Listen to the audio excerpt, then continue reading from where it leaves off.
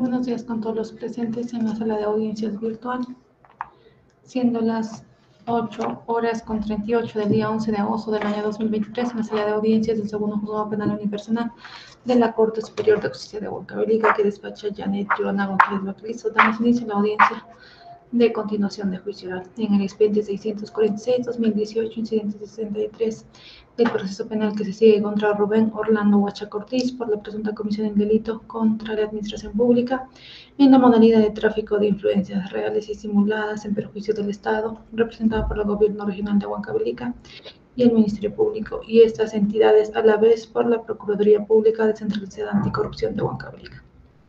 Deja constancia de que esta sesión de audiencia se desarrolla en forma virtual y se registra a través del uso del aplicativo del Google Meet y que el inicio tardío de esta sesión de audiencia obedece a que se ha tenido problemas de conexión con el interno acusado Rubén Orlando Huachaca.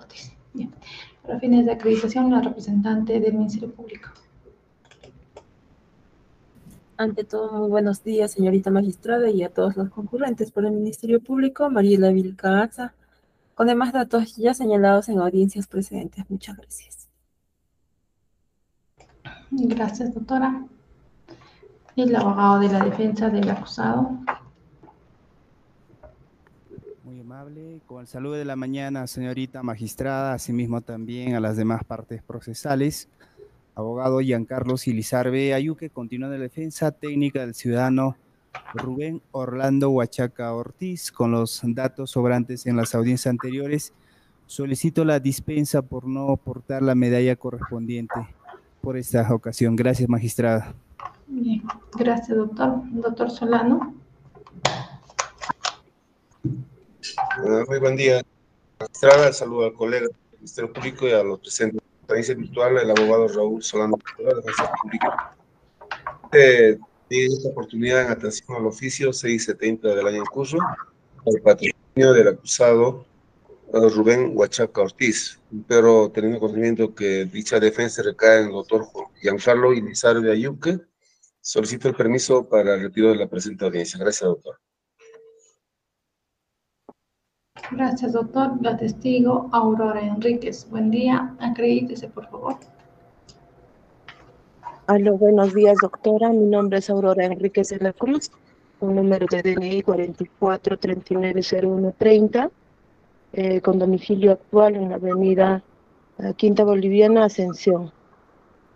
¿Su número de celular? A 921-741145. Gracias. El testigo Marco Manrique Chávez. Sí, ante todo, muy buenos días, señora magistrada, muy buenos días a todos los presentes. Mi nombre es Marco Antonio Manrique Chávez, con domicilio real eh, 544 con teléfono 966 50 53. Gracias. Bien, gracias. Se considera válida la acreditación de los sujetos concurrentes. ¿Está levantando la mano, señor Marco?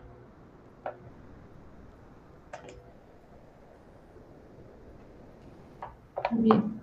Con la concurrencia de todos los sujetos obligados, declaramos válidamente instalada esta sesión de continuación del juicio oral y atendiendo a que el acusado se encuentra acompañado por abogado de su elección libre. Agradecemos la concurrencia del doctor Raúl Soldano y autorizamos el retiro de la plataforma. Buen día, doctor. Buen día, muchas gracias. Bien. Solicito a la especialista de audio nos indique si tenemos despacho pendiente para esta sesión y respecto a la inconcurrencia del actor civil. Señorita magistrada, buenos días y con los presentes, revisado el sistema integrado de justicia, no se evidencia ningún espíritu pendiente. Asimismo, se da cuenta sobre la notificación realizada al coordinador regional de la Procuraduría Especializada, eh, la misma que ha sido notificada en la casilla electrónica 49229, esto con fecha 3 de agosto de 2023. Es cuanto al informe.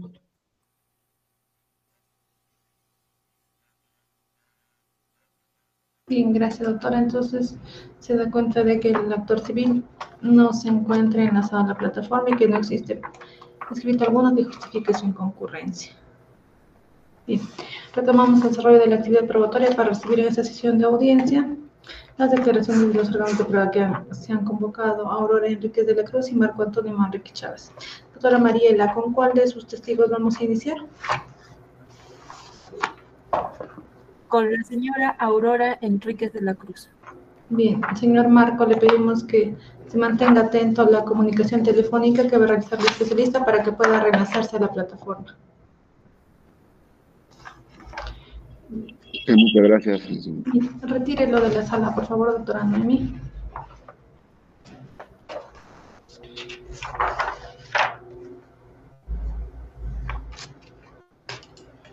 Bien, señora Aurora, encienda su cámara de video, por favor.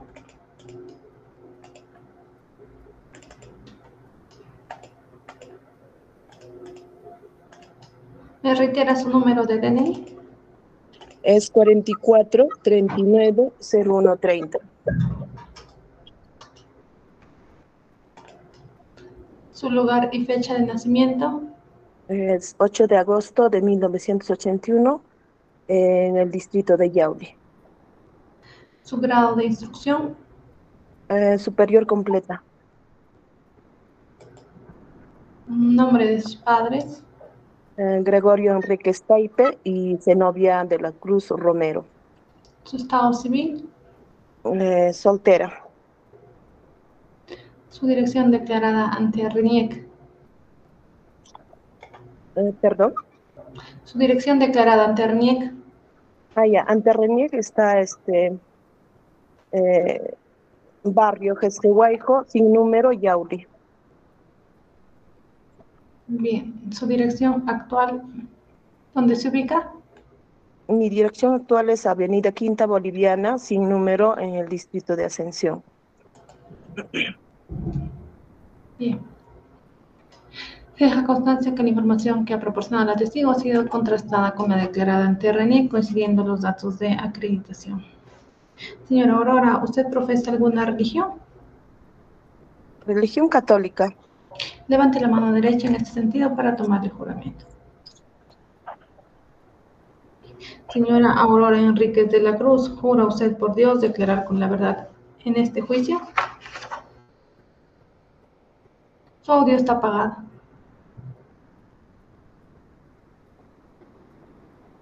No se le escucha. Tal vez su audífono se ha desconectado. Está encendido su audio, pero no se le escucha. Reingrese a la plataforma, por favor.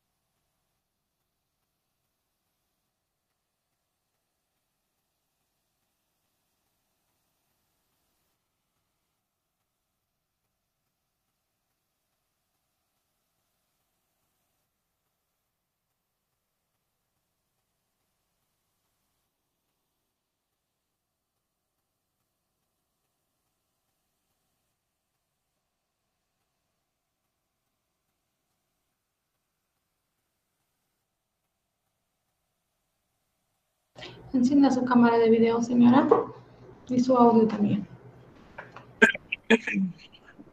Ahora sí se le escucha. Vamos a proceder a tomarle juramento. Señora Aurora Enríquez de la Cruz, ¿jura usted por Dios declarar con la verdad en este juicio?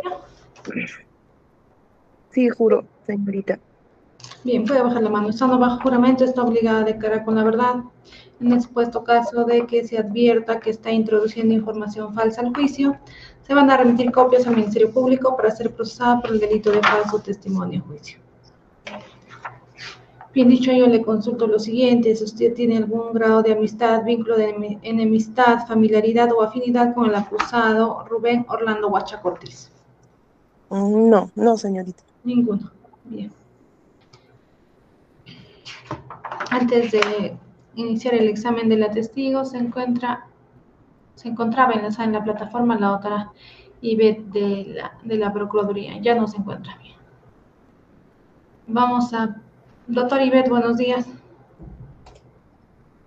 Esta magistrada, buenos días. Disculpe, teníamos inconvenientes con el enlace, motivo por el cual hemos llegado o hemos ingresado tarde. Ya le hemos solicitado a la señorita representante del Ministerio Público el enlace que probablemente habían cambiado. Bien, en lo sucesivo, doctora, el enlace es el mismo eh, a partir de esta sesión y las sesiones anteriores. anteriores. Probablemente haya habido un error en la revisión del, del enlace. Acredítese, por favor.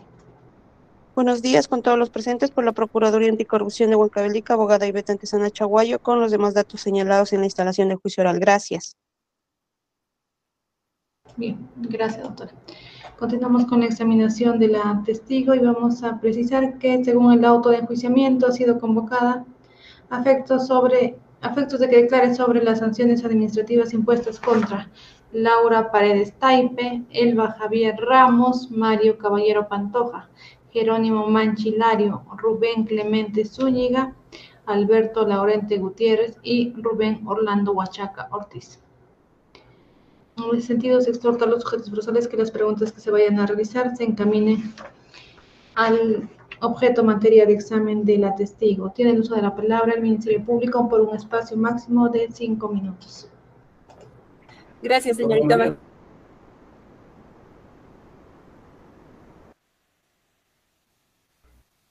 Señorita magistrada, si me permite un momentito. Sí, doctora, le escuchamos.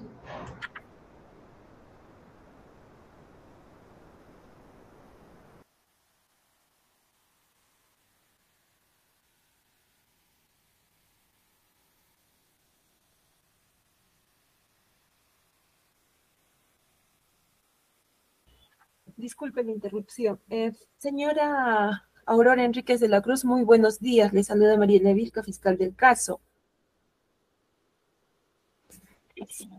Sí, buenos días, señorita. Buenos días. En los años 2016 y 2017, ¿dónde laboró usted?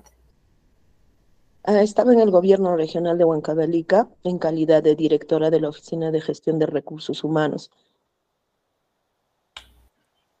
y como tal, ¿qué funciones tenía? Ah, efectivamente, las funciones que tengo de acuerdo al ROF son varias, ¿no? Que es este, una de ellas, pues efectivamente, es, eh, ahorita no lo tengo, no lo puedo precisar exactamente tal como dice, pero es eh, efectivamente llevar el tema de, los, de los sistemas administrativos de la Oficina de Recursos Humanos de los áreas que yo tenía, ¿no? En mi cargo en ese momento. Registro y control, contratos, lo que es este, desvinculación, vinculación, de todo el personal que tenía cargo.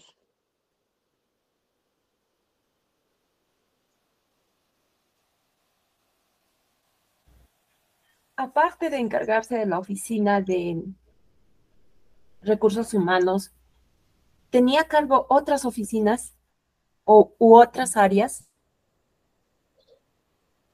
Áreas, otras áreas no.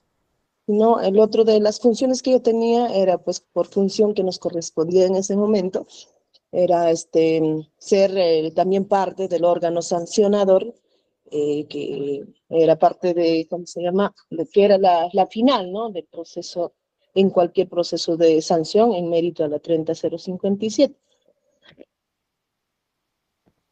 Ley Dentro de ese periodo que le he mencionado, es decir, en el año 2017, los eh, ciudadanos Rubén Orlando Huachaca Ortiz, Laura Paredes Taipe, Elba Javier Ramos, Mario Caballero Pantoja, Jerónimo Manchilario, Rubén Clemente Zúñiga y Alberto Laurente Gutiérrez, ¿fueron sancionados administrativamente?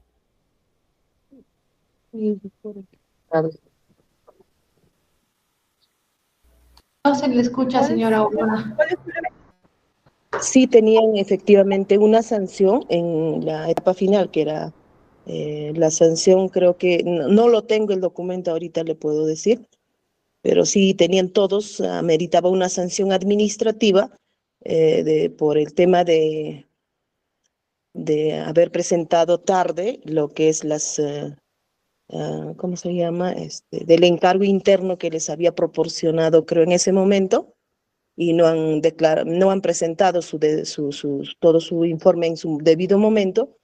Y entonces había un informe que nos han remitido y en mérito a eso se habrá hecho la evaluación, la parte que corresponde al órgano instructor uh, que le han apertura en su momento. No, yo solamente te voy a hablar de la parte de la última etapa que es que me corresponde la sanción nada más. Para este procedimiento de sanción, ¿usted ha emitido resoluciones directorales?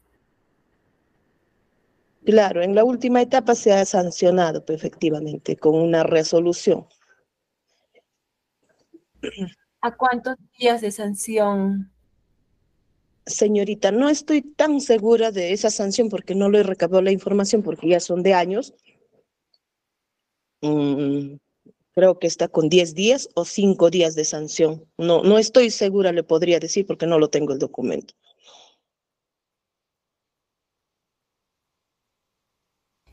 Y para establecer esta sanción, ¿usted consideró el informe oral que estas personas han presentado? O sea que para establecer la sanción, todo el proceso atrás, lo que es desde la parte de, de instauración del proceso, eso viene de, de, de, de, su jefe de inmediato en este caso, ¿no? Como te vuelvo a decir, toda esa etapa ya ha pasado, yo solamente llego a la última etapa para la sanción nada más. ¿Y se acuerda la resolución que emitió? ¿El número? No, señorita. ¿Se acuerda quién elaboró la resolución? La resolución es todo lo que viene para la etapa de la sanción en la final. Es la, oh, perdón, eh, secretaría técnica, ¿no? En este momento que lleva todo el proceso como apoyo también a la oficina de gestión de recursos humanos. Doctora, disculpe, no lo escuchamos también. Sí, sí, tendría que apegarse más al, al celular para que no se entrecorte la comunicación. Ah, ya, este. Ay, sí, Perdón, como, ah, ya. como le decía, doctora, toda esta etapa desde antes que ha venido, ¿no? Desde la parte instructiva, la precalificación, la calificación, toda esa etapa fue ya llevada eh, en Secretaría Técnica. Entonces, la parte final, nada más, yo particularmente por función, es la última etapa de la sanción. Entonces, para eso, como me vuelve a preguntar usted quién ha elaborado las resoluciones de, de sanción, efectivamente, ahí en ese momento tenía la, la oficina o a, las, a, Secretaría Técnica que apoya en toda la etapa del proceso, eh, en, incluido lo que es la sanción que me corresponde a mi oficina. Entonces, se ha, este, ha remitido la proyección de la resolución y efectivamente en mérito a eso se ha firmado, ¿no? La sanción pero con todo lo que han hecho ya la investigación, el proceso, todo lo que han llevado, ¿no? Más antes. Usted señala que tuvo el apoyo de Secretaría Técnica. Que, o sea, es, la, la, es, la, oficina que... Precise la identidad de la persona. ¿Perdón? Precise la identidad de la persona, nombres y apellidos. Ah, ya, en, ese, en, esa, en esa fecha estaba encargado el doctor Marco, ¿no? Marco Manrique, eh, encargado de Secretaría Técnica.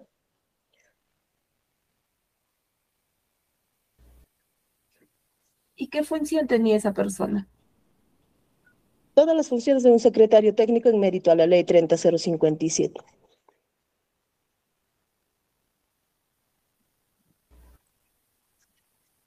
Él se encargó de proyectar esta resolución de sanción. ¿Y usted realizó alguna modificación a este proyecto? Objeción No, no, no. impuesta, magistrada. Sustente, doctor, sustente. Dos preguntas, lo está haciendo uno y además es una pregunta sugerida, magistrada. La señorita fiscal directamente indica respecto al proyecto, cuando la testigo aún todavía no ha precisado respecto al proyecto. ¿Y qué tipo de proyecto? Ha señalado, doctora, que quien le apoyó en la elaboración ha sido el señor Manrique. Entonces, si le apoyó en la elaboración, se trata de un proyecto. Eh, magistrada, perdón. Una Sí, cosa es un apoyo muy diferente es cuando se trate de una, en este caso, proyectar una resolución, etcétera. Por el momento no se la ha escuchado, sin embargo, la señorita fiscal introduce esa información a su testigo. Bien, doctora, reformule la pregunta, por favor, y debe evitar la, las preguntas compuestas. Señora Aurora Enríquez de la Cruz, ¿quién se encargó de elaborar el proyecto de esta resolución de sanción? Eh, Secretaría técnica, Identidad de la persona, nombres y apellido. eh, Manrique Chávez Marco Antonio.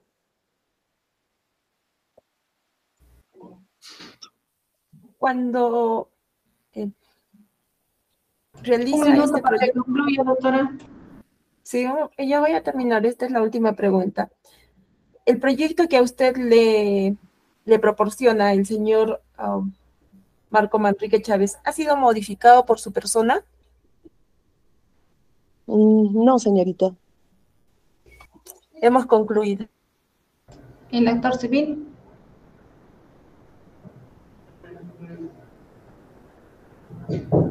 Doctora Ivette. No se le escucha, doctora. Ninguna pregunta, señorita juez. La defensa. Gracias, magistrada. Señorita testigo, muy buenos días. Le saluda el abogado Giancarlos Ilizarbe Ayuque. A efectos de que usted pueda responder, eh, se habló bastante de la fase final. En todo caso, a efectos de que nos pueda precisar cuáles son las fases, eh, en este caso, en un procedimiento de sanción. ¿Podría explicarnos?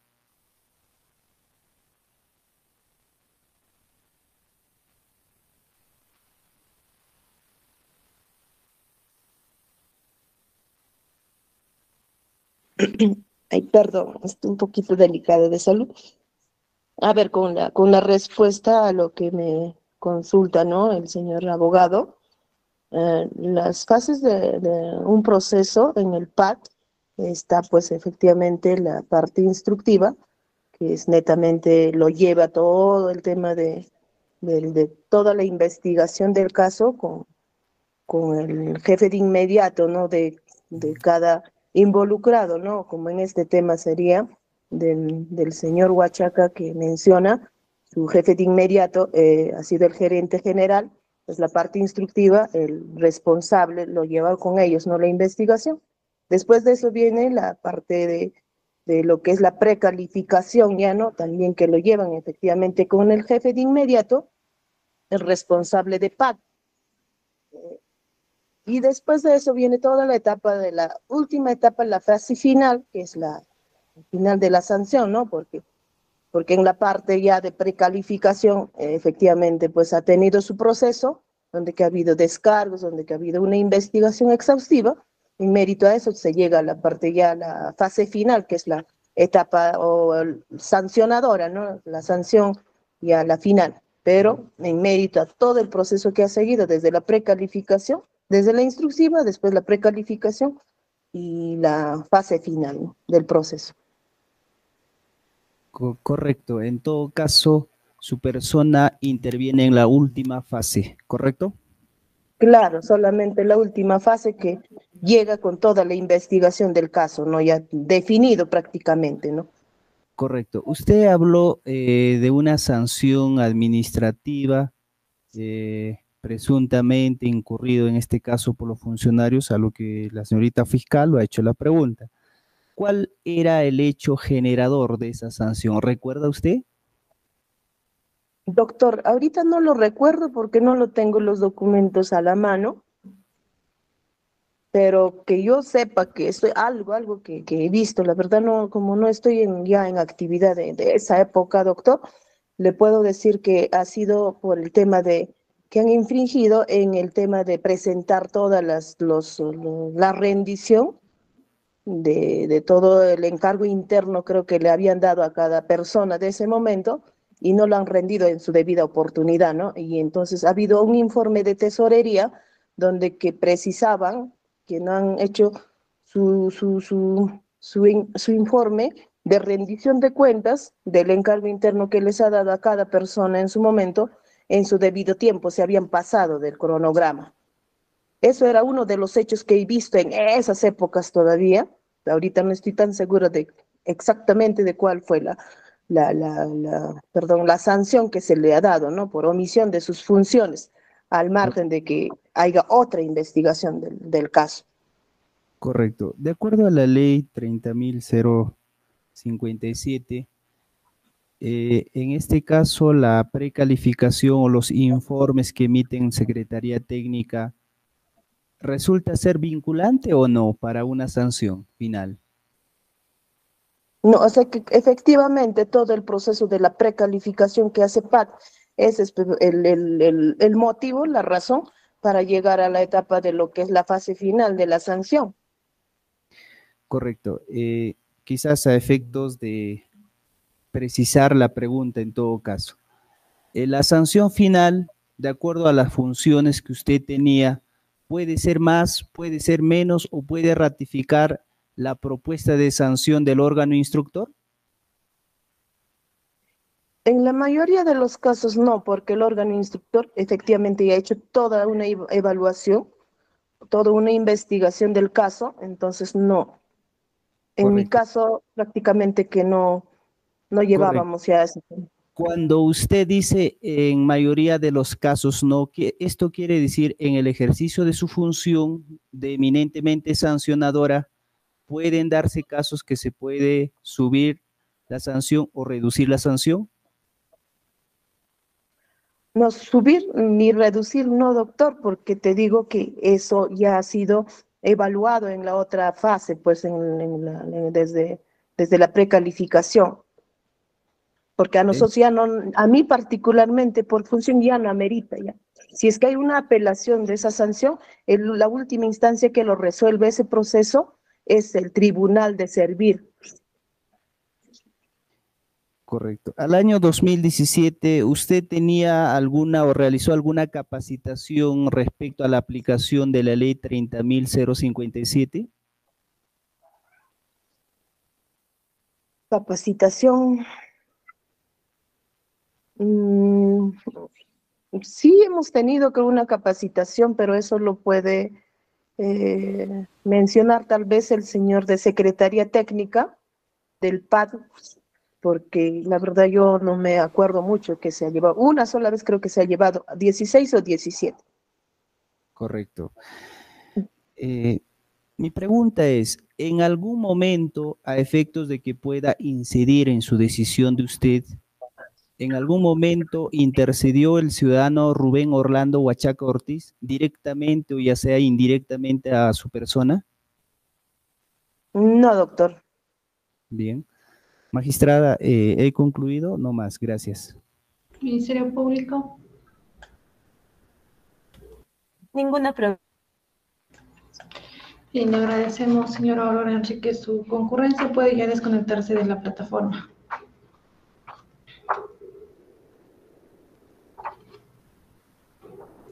Bien, doctora Nami, comuníquese por favor con el testigo que se encuentra pendiente, señor Marco Manrique.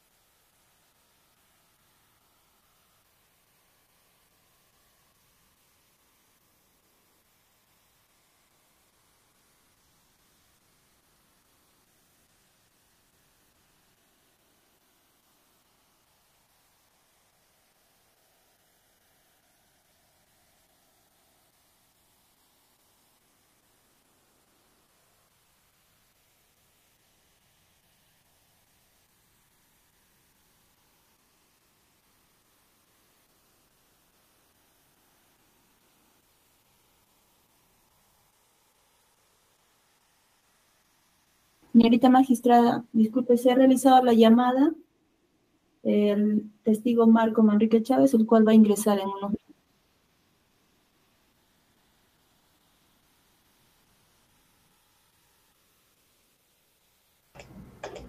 Bien, señor Marco, buenos días nuevamente. Encienda su cámara de video.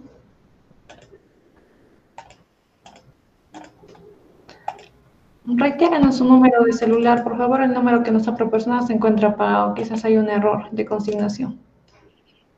Mi número es 966 50 51 53.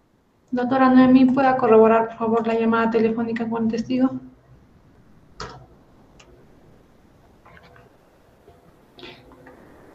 Sí, señorita magistrada, se ha realizado la llamada.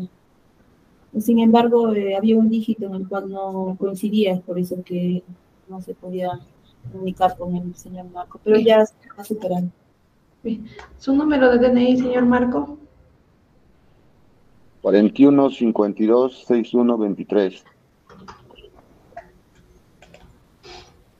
¿Su lugar y fecha de nacimiento? 21 de abril de 1979. ¿Tu estado civil? ¿Dónde ha nacido? En Jesús María Lima, ¿Nombre de sus padres? Julio César Moisés Manrique Vergara y Susana Chávez Monterola. Bien. ¿Su dirección declarada ante RENIEC? Don Virey Toledo 544, Huancavelica, ¿Grado de instrucción? superior, ¿Dónde labora actualmente? en la Corte de Huancavelica. Bien. Se considera válida la acreditación del testigo y en el mismo sentido se ha contrastado con la información proporcionada ante de RENIEC, coincidentes los datos de acreditación. Señor Marco, ¿usted profesa alguna religión? No, la católica. Levante la mano derecha para tomarle juramento. Señor Marco Antonio Manrique Chávez, juro usted por Dios declarar con la verdad en este juicio. Y juro. Puede bajar la mano. Estando bajo juramento, está obligado a declarar con la verdad. En el caso supuesto de que se advierta que está introduciendo información falsa al juicio, se van a remitir copias al Ministerio Público para ser procesado por el delito de falso testimonio. Bien, se precisa que la declaración del testigo versará respecto a lo siguiente. La labor profesional que realizó en la proyección de los informes en el proceso administrativo disciplinario contenido en el expediente administrativo número 792-2016. Señor Marco, ¿usted tiene algún grado de amistad, vínculo de familiaridad o enemistad o afinidad con el señor Rubén Orlando Huachaca Ortiz? No tengo ningún vínculo. Bien, tiene el uso de la palabra la representante del Ministerio Público por un espacio máximo de cinco minutos. Gracias, señorita magistrada. Señor Marco Antonio Manrique Chávez. Le saluda Mariela Vilcasa, fiscal del caso. Buenos días. Buenos días. En el año 2016, ¿dónde laboró usted? Gobierno Regional de Huancavelica, En el año 2017, en Gobierno Regional de Huancavelica, en ambos periodos, ¿qué cargo ocupaba?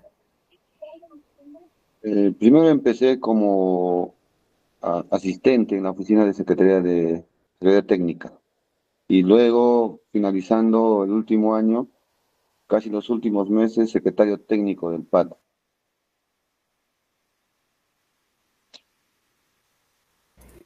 Como secretaria del PAD, ¿qué funciones tenía?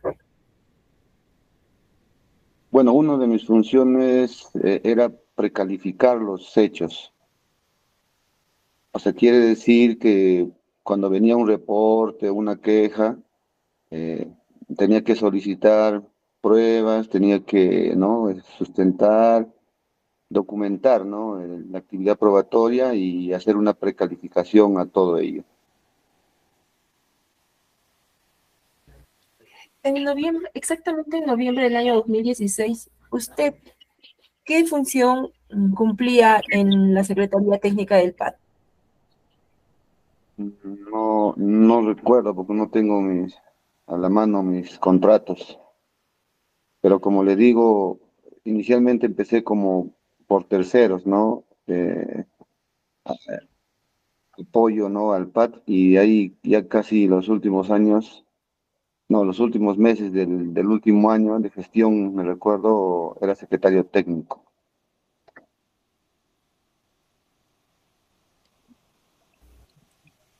Los señores Rubén Orlando Huacheca Ortiz, Laura Paredes, Taipe, Elba Javier Ramos, Mario Caballero Pantoja, Jerónimo Mancha Hilario, Rubén Clemente Zúñiga, Alberto Laurente Gutiérrez, ¿fueron sancionados administrativamente?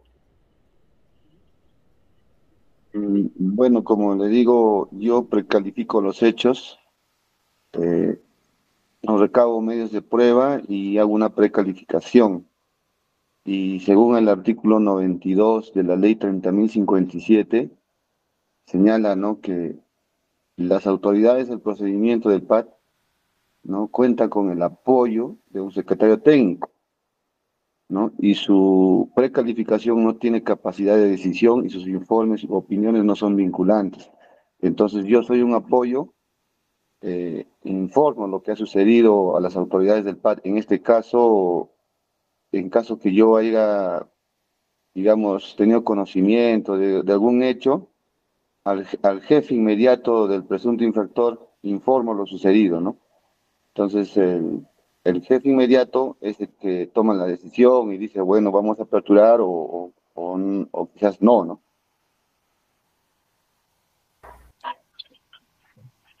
¿Usted tenía conocimiento que eh, el señor Orlando, Rubén Orlando Huachaca Ortiz, se desempeñó en el cargo de gerente de desarrollo económico del gobierno regional de Huancavelica? Bueno, cuando, cuando llega una queja, obviamente cuando uno precalifica, como una investigación, así como digamos fiscal, recién pide, pues, ¿no? Los, digamos, la situación laboral de, de la persona que, que presuntamente habría cometido algo, ¿no? Y ahí recién se toma conocimiento de la situación laboral del, de la persona. Lo que usted acaba de señalar implica que finalmente sí sabía usted qué cargo ocupaba esa persona, el acusado Rubén Orlando Guachacortiz. Claro, cuando llega una, como le digo, cuando llega un reporte o, un hecho para investigar, recién se toma conocimiento. Anterior a ello, uno no, no sabe, pues, ¿no? La, situación de cuántos funcionarios existe, pues, en el gobierno regional y no estamos pendientes de ello.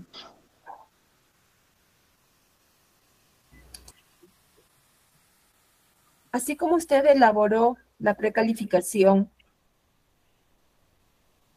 ¿elaboró usted para el caso del procedimiento administrativo de las personas que le acabo de señalar otros documentos? ¿De qué documento me estaría hablando, doctora? Disculpe. Resoluciones. Eh, una de las funciones del secretario del PAD es este proyectar informes, resoluciones, pero en base a la disposición del órgano instructor y del órgano sancionador. Hemos concluido, señorita magistrada. ¿El actor civil? Señorita magistrada, señor ¿usted conoce al señor Orlando, Rubén Orlando Huachaca? No, no lo conozco, sinceramente no lo conozco. A la fecha en la que usted eh, asumía la condición de secretario técnico, ¿tenía algún grado de amistad, enemistad con el señor Rubén Orlando Huachaca Ortiz? No, no tengo ningún grado de amistad ni de, ni de otro tipo. Al día de, o a la fecha que asumió y también usted estaba a cargo de este expediente administrativo del señor Rubén Huachaca Ortiz y demás, que también ya le ha señalado, señorita representante del Ministerio Público, el señor Rubén Orlando Huachaca Ortiz alguna, en alguna oportunidad se apersonó a su despacho para efectos de realizar o conversar con vuestra persona mm, en mérito a su procedimiento administrativo? Eh, no recuerdo, pero uno de los derechos de las personas que están siendo procesadas administrativamente tienen derecho a, a revisar su expediente, a consultar, como un caso, ¿no? Digamos, como cualquier caso civil o penal, ¿no? No, no se le puede restringir, pero no recuerdo que se haya acercado. Hemos concluido, señorita juez. Gracias, señor Marco Antonio. La defensa, Gracias, doctora. Eh, doctor Marco Antonio, muy buenos días. Le saluda el abogado Giancarlo. Muy buenos días, doctor. Buenos días. Eh, doctor, al año 2016 y 17, eh, usted indicó que se desempeñaba como secretario técnico o era como apoyo al secretario técnico. Eh, como le vuelvo a decir, a los primeros, este, primer año era este apoyo a la Secretaría Técnica. El secretario técnico, recuerdo que era el doctor, este, mm, doctor Cueto. Él era Correcto. el técnico. Entonces, ahí nosotros tra- trabajábamos varios abogados de apoyo. Éramos como cuatro o cinco abogados, un notificador, un asistente, una secretaria. y Yo era uno de los abogados de apoyo. Correcto. Entonces, el doctor Joaquín Cueto Laura, ¿a él se refiere? Sí, sí, él era el secretario técnico. Él era el secretario técnico. ¿Recuerda hasta qué fecha era él secretario técnico? Mm, recuerdo cuando ya eran los últimos meses de, de su gestión, ¿no? Del, del partido político, mm, será pues unos cuatro o cinco meses faltando, faltando ahí recién me designan. Esto implica ya a finales del año 2018. Claro, la última gestión de Clodoaldo, si no, si no recuerdo bien. Correcto. Entonces quiere decir que durante el año 2016-2017 el secretario técnico era el doctor Joaquín Cueto Laura. Claro, ahí tiene sus resoluciones de designación como secretario técnico. Correcto. ¿Podría usted explicarnos o señalarnos cuáles son las funciones específicas del secretario técnico autor? Claro, eh, las funciones específicas están establecidos en la ley 30.057 y en su di- directiva 002. Ahí están establecidos específicamente y recuerdo que una de las funciones es precalificar los hechos frente a un reporte, como vuelvo a decir, una queja que se presente, se solicita información, se recaba medios de prueba, y una vez obtenido toda la actividad probatoria, documentación, se, se, pasa a sustentar al jefe inmediato, o sea, al órgano instructor. Entonces, se le informa, se le sustenta los hechos y el jefe inmediato es el que señala y el que saca una resolución y firma y señala que, bueno, acá no merita o acá merita, ¿no? Como yo vuelvo a decir, la, la ley el artículo 92 de la ley 30.057 señala que los informes del secretario técnico no son vinculantes, no tienen capacidad decisoria. Entonces, la ley le faculta al órgano instructor y al órgano sancionador la facultad, ¿no?, de poder iniciar o poder archivar un caso en concreto. Correcto. Eh, doctor, en todo caso, ¿podría usted explicarnos eh, respecto a las fases del, del PAT o del proceso administrativo sancionador? Claro, existen dos fases. Es parecido a lo penal. La fase instructiva, donde se recaba documentación, declaraciones, ¿no? Y se informa y se saca una resolución de inicio del PAC. El que saca la resolución es el jefe inmediato del que supuestamente habría cometido una falta, ¿no? Y de ahí se notifica a, las, a la parte infractora y hace sus descargos. Una vez que haga sus descargos, eh, se hace un informe.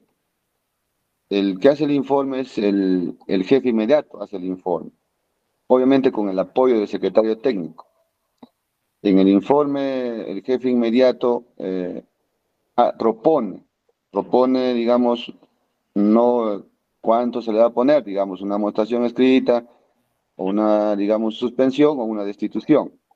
Y eso propone al órgano sancionador, la fase sancionadora, que es el recursos humanos. Entonces, recursos humanos eh, recopila todo y según la ley, recursos humanos o el órgano sancionador tiene la decisión de archivar, de bajar la sanción o de confirmar lo propuesto por el órgano sancionador. Eh, correcto, doctor. Esto implica, conforme a la norma precitada, eh, cuando hablamos que no son vinculantes, esto implica de que el órgano sancionador puede subir como también bajar o confirmar o este, asumir la, el informe del órgano instructor, ¿correcto, doctor? Eh, la ley establece que el órgano sancionador no puede subir una sanción propuesta, solamente puede confirmar o bajar o absolver. Eso está establecido por ley. Así es. Correcto, doctor. Ahora, usted indicó de que recuerda en efecto haber eh, realizado el proceso administrativo mm, disciplinario contra el ciudadano Rubén Orlando Huachacortis, ha precisado que no conoce. Y lo que yo quiero saber, ¿usted recuerda quién era el jefe inmediato superior? ¿Recuerda, doctor? Eh, según la ley, eh, el jefe inmediato superior es el, digamos, si uno trabaja, digamos, en logística, su jefe sería el administrador. En este caso, el jefe inmediato sería su superior, ¿no? Del, señor Huachaca. Entonces, si él ocupaba un cargo que no recuerdo, su jefe inmediato, bueno, sería el administrador o la gerencia, ¿no? Correcto. En este caso, eh, para ir aclarando, su jefe inmediato, eh, perdón, en este caso el señor, teniendo en consideración que el señor Rubén Orlando Huachaca Ortiz en esa fecha tenía la condición de gerente eh, regional de desarrollo económico. Claro, o sea, jefe inmediato superior. La ley establece que se tiene que remitir a los documentos de gestión, que es el MOF. Entonces, en el MOF está establecido claramente, ¿no? Los líneas de jerarquía. Si es el gerente de desarrollo económico, su jefe inmediato, ahí lo dice. Sería es algo incorrecto que podría decir la administración o la gerencia, no, no podría precisar. Perfecto. Eh, doctor, ¿usted jerárquicamente de quién dependía? ¿Recuerda? Eh, yo como secretario técnico, según ley, el artículo 92 señala que depende de recursos humanos. De recursos humanos. Ajá. Correcto. 92 de la ley 30.057. Eh, de acuerdo a su contrato, ¿dependía laboralmente del señor Rubén Orlando Huachaca Ortiz usted? No, indudablemente no. Indudablemente no. Eh, finalmente, eh, doctor, ¿en algún momento usted nos ha explicado que en efecto los administrados que están en proceso de paz tienen el derecho y plantear cualquier recurso que la ley franquea, eso nos quedó claro. Mm, lo que yo quiero preguntarles, doctor, eh, si en algún momento eh, alguna tercera persona ha intercedido en los informes que usted venía realizando, doctor? Objeción, señorita magistrada. Objeción, pregunta impertinente, sí, pregunta impertinente y además que vulnera el derecho de defensa. Perdón, el derecho a la no autoincriminación. ¿Me permite, magistrada?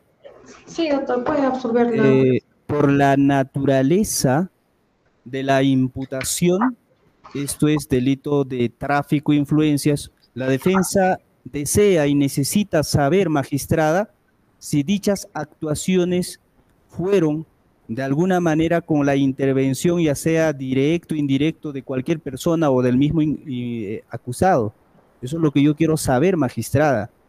Y por lo tanto considero que mi pregunta sí es pertinente. Bien. Un momento, Vamos a verificar el contenido del auto de enjuiciamiento para reiterar el motivo de examen del testigo. El señor Marco Antonio Enrique Chávez ha sido admitido para que declare en el juicio respecto a su labor profesional en la previsión de informes del proceso administrativo disciplinario del expediente número 792-2016.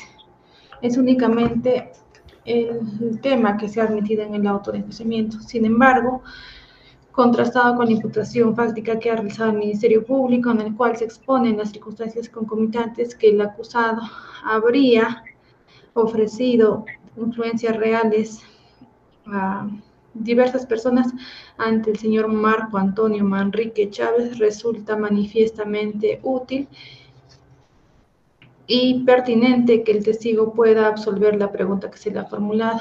Pero, tratándose de una pregunta que puede versar o incidir en una eventual responsabilidad penal, puede mantener su posición de abstenerse a responder la pregunta. Bien, escuchamos, señor Marco. ¿Me podría repetir la pregunta? doctor? Gracias. Eh, señor Marco Antonio, en los informes que usted emitió, ya sea directa o indirectamente, algún funcionario o el señor Rubén Orlando Huachaca Ortiz ha intercedido? Bueno, a mi persona, bueno, no, nunca, nunca vino a interceder para nada. Bien. Eh, no más magistrada por el momento y muchas gracias. La Fiscalía.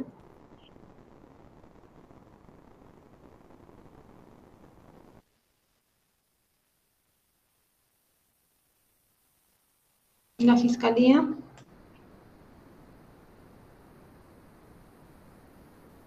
Ninguna repregunta. Bien. De parte del despacho, señor Marco Antonio, ¿usted recuerda haber emitido informes en relación al proceso disciplinario del expediente número 792-2016? Mm, bueno, he emitido informes, eh, como le digo, también habían otros abogados que emitían informes, ¿no? Bien, eh, pero en este caso concreto, respecto al expediente que se ha hecho referencia, ¿recuerda o no recuerda haber emitido informe? No, recuerdo que he emitido un informe de inicio, no una precalificación. Bien, en su labor como abogado de apoyo de la oficina del PAD, eh, cuando emitía informes o proyectos de resolución, ¿usted consignaba en estos documentos sus iniciales? Cuando yo era este apoyo eh, en el PAD, le digo, habían cinco abogados y el que hacía el proyecto ponía sus iniciales.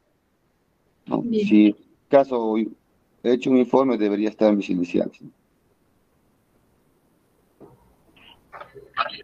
Bien, gracias, señor Marco. No tenemos más preguntas de ese despacho. Hemos concluido con su examinación. Le agradecemos su concurrencia. Puede ya desconectarse de la plataforma. Muchas gracias a todos.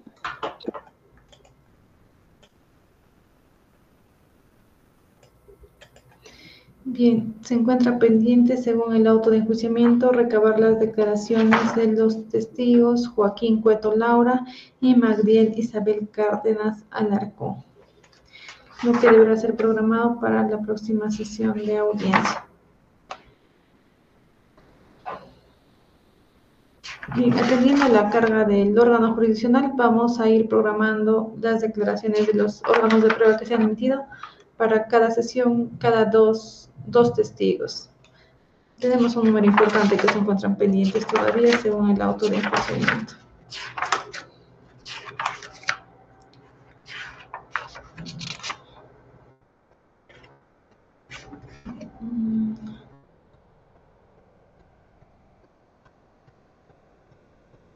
Son nueve testigos y dos peritos. Son en total 11 declaraciones que se encuentran pendientes para la recepción del juicio. Y le consulto a la representante del Ministerio Público si vamos a obedecer al contenido del auto de enjuiciamiento para convocar a los próximos órganos de prueba o por tesis del Ministerio Público va a ser necesario que se actúe de acuerdo al orden que pueda preestablecerlo en esta sesión. Doctora Mariela. Ya en el auto de enjuiciamiento está ordenado de acuerdo a la tesis incriminatoria del Ministerio Público, señorita. Así que le solicitamos que se respete ese orden. Bien, entonces concluimos con los testigos y luego iniciamos con los peritos.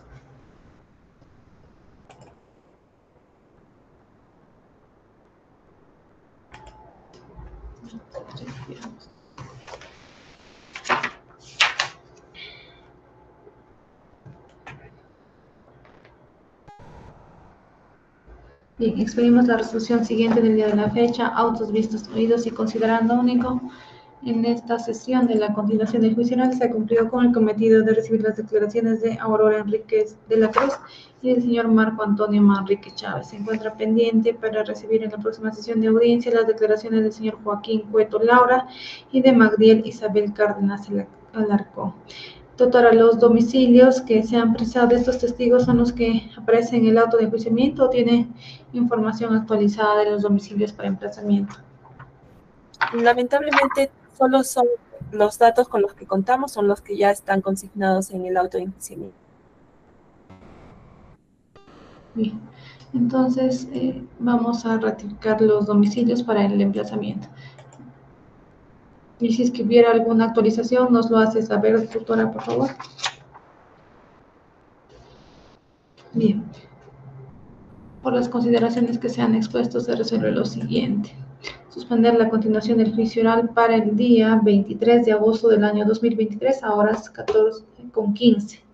14 con 15 horas. La misma que se desarrollará en forma virtual a través del uso del aplicativo del Google Meet enlazándonos al mismo link de audiencia. Siguiente, se dispone que en la próxima sesión de audiencia se actúe la siguiente actividad probatoria. Se recibe la declaración testimonial de Joaquín Cueto Laura, quien deberá ser notificado en su dirección real en la avenida San Martín, sin número del distrito y provincia de Acobamba, departamento de Huancavelica. Y sin perjuicio de comunicársela a través de línea telefónica al número 9909 00999657 Reitero el número 9900-99657, la realización de la presente sesión de audiencia.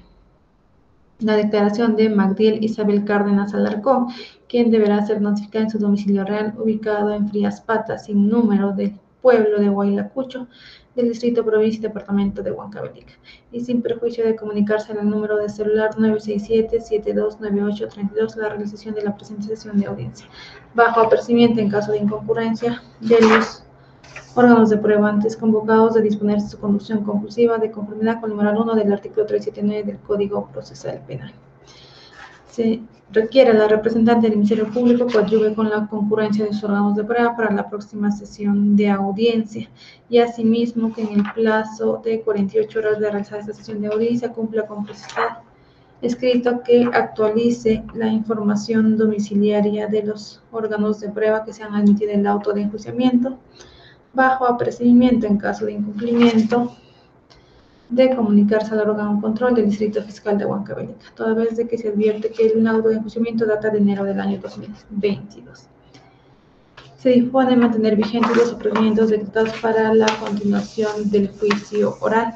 Y finalmente se dispone de cursar oficio a la Administración del Módulo Penal y a la Dirección del Establecimiento Penal a efectos de que coadyuven y garanticen la concurrencia y participación del acusado que se encuentra privado de libertad. Quedan todos válidamente notificados. Le reitero la fecha y hora de reprogramación. El 23 de agosto a las 14 con 15 horas. Únicamente vamos a recibir dos declaraciones testimoniales. ¿Se lo resuelto Ministerio Público? Conforme. Actor civil. Conforme, señorita juez. La defensa. La defensa, el audio está apagado. Conforme, magistrada. Gracias, doctor. Siendo las 9.39, concluimos. Buen día con todos. Buenos días. Buen día. Buen día con